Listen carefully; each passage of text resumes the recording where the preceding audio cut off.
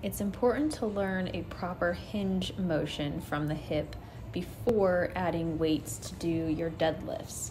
So here you can see I'm hinging forward from the hip, kind of sticking your butt back, and then standing up as you squeeze through your glutes.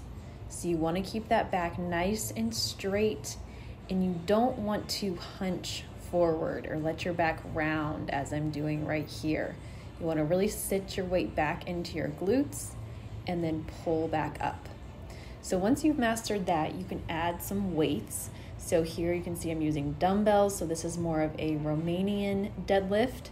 Um, same motion we were doing without any weights, just adding the weight for more of a challenge to work the glutes. Again, you want to make sure you're not rounding, keep the back straight, and pull back up. Then the other option you have here is with a kettlebell. So again, it's the exact same thing, starting at the top, hinge forward and come back down. Back stays straight, weight goes into the glutes and pull back up.